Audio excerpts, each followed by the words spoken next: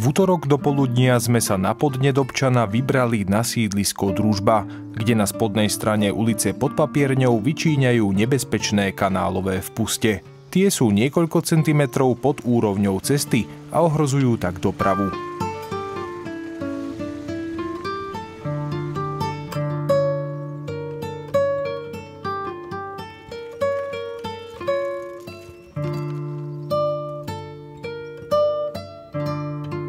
O vyjadrenie sme požiadali správcu komunikácie. K téme sa vrátime v jednom z ďalších vydaní správ.